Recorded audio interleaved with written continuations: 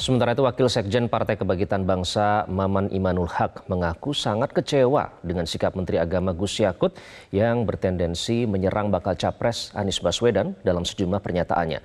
Maman menegaskan Menteri Agama seharusnya menciptakan keteduhan, bukan justru kegaduhan di tengah umat dan publik terlebih menjelang pemilu dan pilpres 2024. Kita sangat menyayangkan pernyataan-pernyataan kontraproduktif dari Menteri Agama apalagi dilakukan oleh seorang pejabat negara dan dia menjadi pembantu presiden.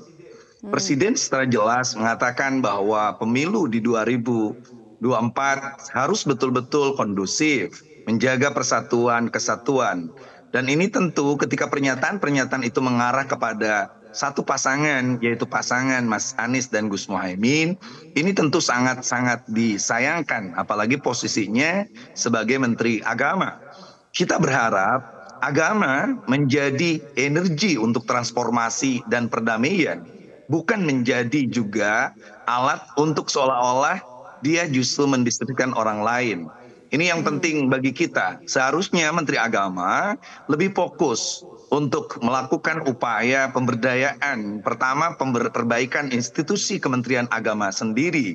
Jangan sampai Kementerian Agama dipakai alat untuk hanya mengkritisi pilpres itu tidak terlalu signifikan. Tidak hanya sekali, bahkan bisa dibilang sering Menteri Agama Yakut Kolil Komas mengeluarkan pernyataan yang kontroversial hingga menyerang salah satu bakal calon presiden. Tidak bisa dibantah, semiotik Gus Yakut dalam mengkritik salah satu capres pasti berdasarkan niat tertentu. Benarkah itu? Kita diskusikan dengan pakar komunikasi politik Profesor Leli Aryani. Bu Leli, selamat pagi. Selamat pagi Mas Iqbal. Assalamualaikum warahmatullahi wabarakatuh. Maaf nih lagi mobile. warahmatullahi wabarakatuh. Baik, semoga Bu Leli juga baik. Bu Leli, ini kan bukan yang pertama kalinya uh, pernyataan yang kontroversial dikeluarkan oleh Menteri Agama Yakut Kolil Komas. Nah, apakah Anda melihat ini memang sengaja dilakukan Menak atau jangan-jangan seperti terkesan ada agenda setting untuk menyerang calon tertentu, Bu Leli? Ya, pertama tadi kan Mas Iqbal membuka ini bukan pertama kali. Artinya kan sudah banyak uh, media komunikasi politik yang terpapar, yang uh, menyangkut apa yang disampaikan oleh Pak Menak. Jadi bukan sekali ini saja, tapi menyasar banyak soal gitu ya. Jadi bukan hanya fokus pada satu objek. Pertama yang ingin saya katakan adalah bahwa sebagai komunikator politik utama, karena beliau adalah elit, beliau adalah menteri, beliau itu bisa kita lihat dalam teori komunikasi politik itu menggunakan simbol istilahnya manusia itu kan adalah ada teori namanya animal simbolikum. Jadi karena itu menggunakan simbolik, maka simbolik itu sendiri kan mana suka, sembarang, sewenang-wenang gitu Mas Iqbal. Dan sebenarnya tidak punya matang apa-apa, kitalah penerima pesannya yang akan menerjemahkan apa makna dari simbol-simbol yang disampaikan itu karena kebetulan kita ini berhadapan dengan pilpres, lalu kemudian ada simbol-simbol calon presiden yang identik percis dengan mungkin yang dikonotasikan sesuai dengan yang beliau sampaikan, maka kita sebagai pemberi makna langsung mengasosiasikan pesan itu kepada simbol tadi. Menurut saya kalau konsep soal yang ganteng, tiga-tiganya ganteng tuh tergantung subjektivitas orang yang menilainya gitu kan. Artinya bisa menyasar ke mana saja. Tapi karena tadi sudah ada stigma tertentu yang melekat pada figur tertentu dari bakal calon presidennya, maka mau tidak mau, suka atau tidak suka, karena simbol itu bersifat sewenang-wenang, sembarang, mana suka, maka orang akan melekatkan pada figur Anies misalnya begitu. Nah ini juga sah-sah saja. Tentu saja imbauan yang harus dilakukan kepada beliau uh, kurangilah menggunakan simbol-simbol yang bisa menyesatkan umat, apalagi beliau Menteri Agama. Intinya sebagai elit communication atau komunikator politik sebagai elit, beliau seharusnya memilih dan memilah simbol-simbol apa yang bisa digunakan yang intinya bisa menentramkan semua pihak sesuai dengan kapasitas beliau sebagai menteri agama yang juga menentramkan semua umat gitu loh. Baik. Itu uh, kata kuncinya Mas Iqbal. Bu Leli, eh, tadi ada juga menyinggung sedikit soal kapasitas beliau, kapasitas sebagai Menteri Agama, pejabat publik. Tapi di sisi lain juga uh, Gus Yakut ini merupakan seorang ketua umum GP Ansor dan juga merupakan seorang kader PKB. Nah, ini apakah ini berarti Menak eh, agak susah atau tidak bisa membedakan kapasitasnya mana pada saat harus berlaku sebagai seorang pejabat negara dan kapan harus bertindak sebagai ketua ormas yang boleh mengkritik kanan kiri Bu Leli? Iya, di sini aja nampaknya kan saya sering mengatakan juga pada Mas Iqbal ya dengan teman-teman di Metro TV ketika membedah buku saya kita menemukan bahwa tidak ada model komunikasi politik yang dipegang oleh para politisi itu. Satu-satunya model adalah tidak ada model. Bukankah tidak ada model itu adalah model, maka modelnya bernama tidak ada model. Meskipun sang Menteri Agama adalah PKB, yang notabene PKB sekarang ini kan eh, mendukung rencana ya, mendukung Anies sebagai bakal calon presiden, sebenarnya Pak Menteri berada di dalamnya gitu loh. Nah, kalau dalam kapasitas ketika dia tidak bisa membedakan argumentasi politik yang harus dikemukakannya, intinya dia tidak memahami model komunikasi politik apa yang harus dia kemukakan. Ada dua hal lagi, misalnya soal istilah panggung. Kebanyakan politisi tidak mengerti pada posisi mana dia tengah berbicara, apakah di panggung depan atau panggung belakang. Bukankah panggung depan politik itu harusnya adalah sebuah model yang digagas seideal mungkin di mana perilaku tidak layak tidak boleh muncul ke permukaan, baik ungkapan, kata-kata, simbol-simbol, misalnya termasuk perbuatan yang seharusnya tidak layak tidak boleh muncul.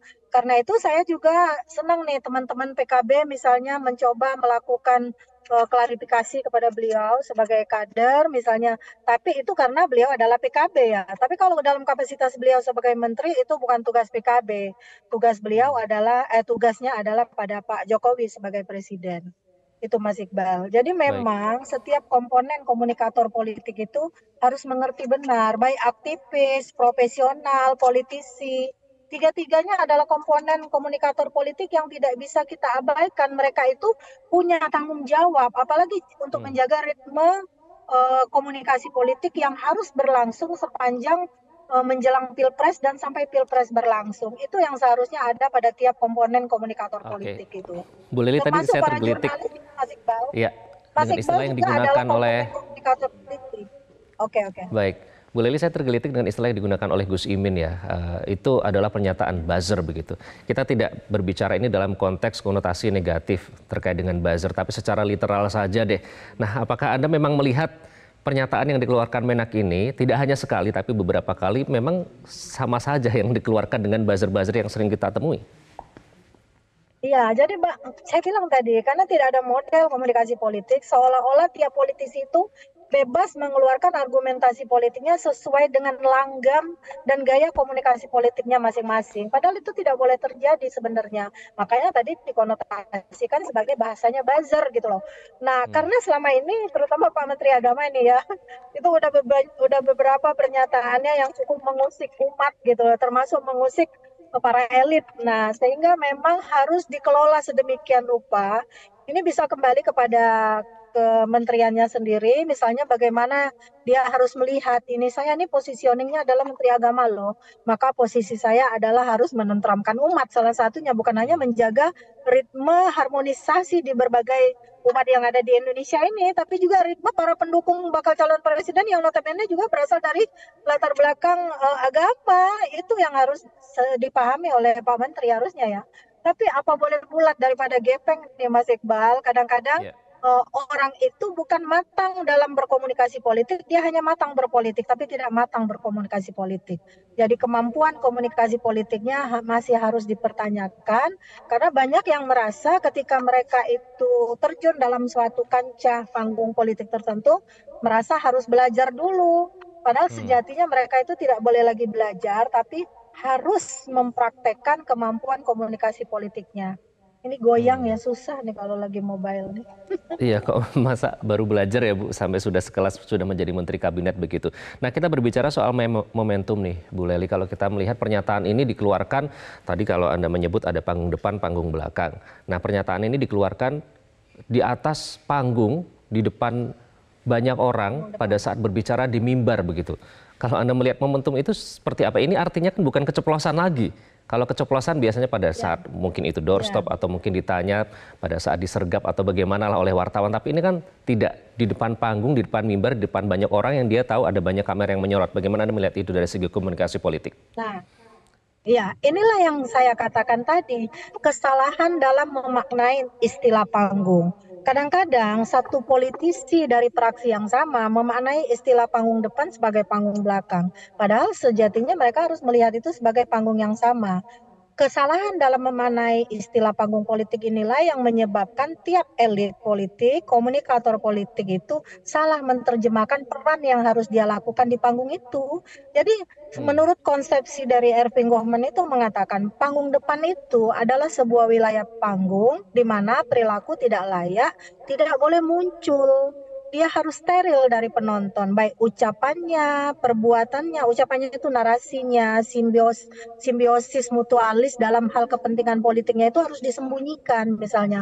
Ketika dia berada pada posisi yang seolah-olah ingin membela kubu tertentu itu juga harus disembunyikan dalam kapasitasnya sebagai elit. Nah, kekacauan istilah panggung politik yang dimanai tiap politisi inilah menyebabkan tiap komponen komunikator politik itu salah mengkomunikasikan pesan-pesan politiknya. Karena salah mengkomunikasikan pesan-pesan politiknya, terjadi juga kesalahan makna pesan dalam mengapresiasi apa yang dia sampaikan. Itu Mas Oke. Iqbal. Baik, salah mengkomunikasikan politik. Kalau kata salah biasanya diikuti dengan sanksi, apalagi kan beliau sebagai seorang kader PKB ya. Nanti kita akan berbicara soal ini. Bu Leli, mohon tetap bersama kami. Nanti kami akan kembali usai jeda. Tetaplah bersama kami dalam Selamat Pagi Indonesia. Jelajahi cara baru mendapatkan informasi. Download Metro TV Extend sekarang.